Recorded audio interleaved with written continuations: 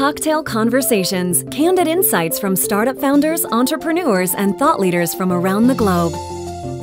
About a year ago, a year and a half ago, there was a number of us, particularly Zappos employees and a few non-Zappos employees, who basically said, like, we're going to live here and be in the tech world.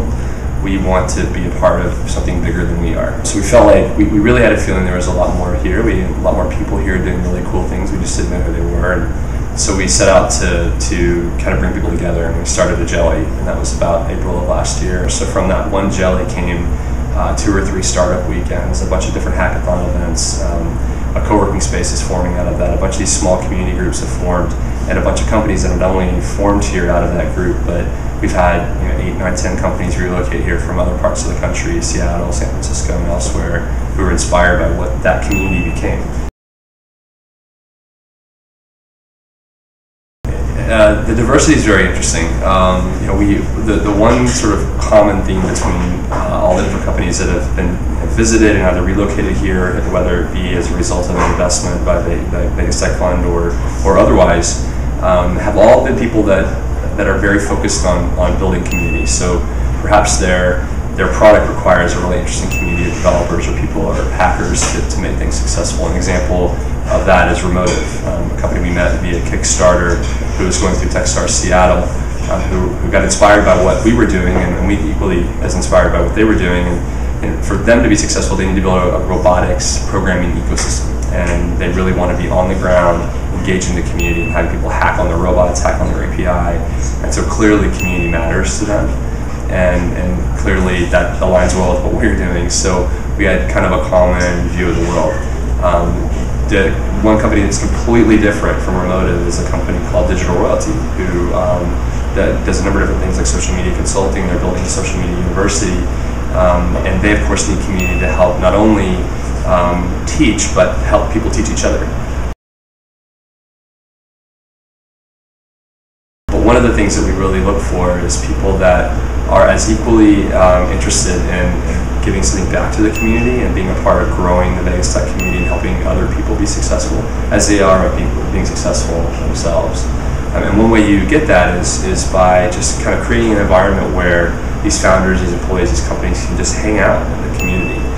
Um, so when we are introduced to a company, whether it be um, they, they reach out to us or someone we know reaches out to us and says, hey, you guys see these guys, we almost immediately say, hey, come come visit Vegas. There's about a 99% chance that you won't pitch the partners while you're in Vegas, and and it's it's sort of weird to say that, but it's true. And generally, it's because but you know, but we we we actually value more about more what the community has to say about your company and what, you know, what people that know your business and have experience to your world have to say about what you do.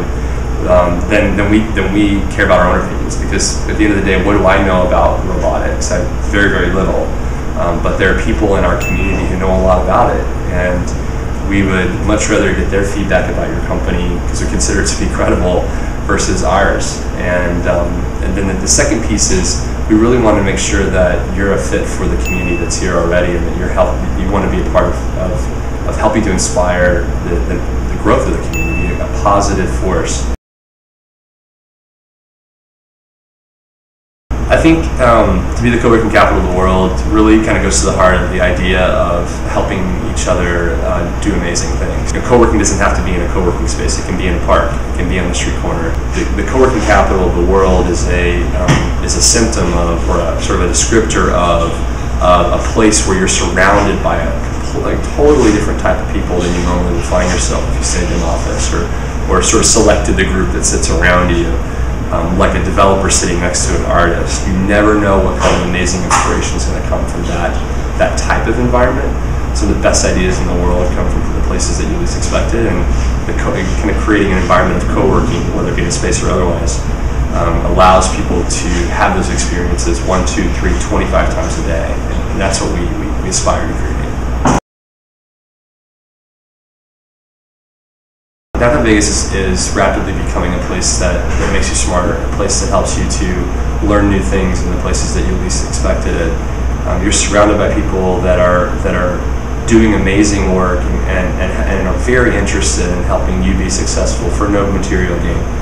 And I think if you want to be in an environment where all the positive things uh, come to you that um, that you that you have to really seek out in a place like Silicon Valley, where I've lived and where you know a lot of people um, are now, or, or even in, in a newer kind of growing place like Austin. Uh, you want to live in a place that, that sort of values equality, values support, values your ideas, um, and wants you to share them with, with someone else, or who ultimately wants to create an environment where you can you can live out your dreams and follow your passions, and downtown Vegas is for you.